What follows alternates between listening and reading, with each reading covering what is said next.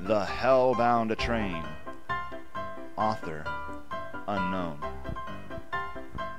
A Texas cowboy lay down on a barroom floor, having drunk so much he could drink no more. So he fell asleep with a troubled brain to dream that he rode on a hell-bound train. The engine with murderous blood was damp, and was brilliantly lit with a brimstone lamp. An imp for fuel was shovel and bones, while the furnace rang with a thousand groans.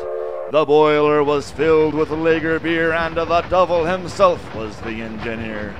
The passengers were a most motley crew church member, atheist, Gentile, and a Jew, rich men in broadcloth and the beggars in rags, handsome young ladies and a withered old hags, yellow and black men, red, brown, and white, all chained together. Oh God, what a sight!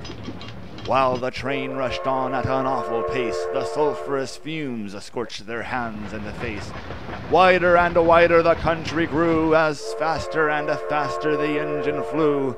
Louder and louder the thunder crashed, and brighter and brighter the lightning flashed. Hotter and hotter the air became, till the clothes were burned from each quivering frame. And out of the distance there arose a yell. Ha ha! said the devil, we're nearing hell. Then oh how the passengers all shrieked with pain and begged the devil to stop the train. But he capered about and danced for glee, and laughed and joked at their misery. My faithful friends, you have done your work, and the devil never can a payday shirk. You've bullied the weak, you've robbed from the poor, the starving brother you've turned from the door. You've laid up gold where the canker rust, and have given free vent to your beastly lust. You have justice scorn and corruption sown, and trampled the laws of nature down. You have drunk, rioted, cheated, plundered, and lied, and mocked at God in your hell-born pride. You have paid full fare, so I'll carry you through, for it's only right you should have your due.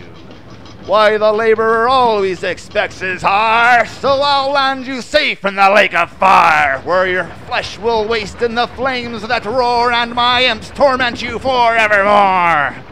Then the cowboy awoke with an anguished cry, his clothes wet with sweat and his hair standing high. Then he prayed, as he never had prayed till that hour, to be saved from his sin and the demon's power. And his prayers and his vows were not in vain, for he never rode on the hell-bound train.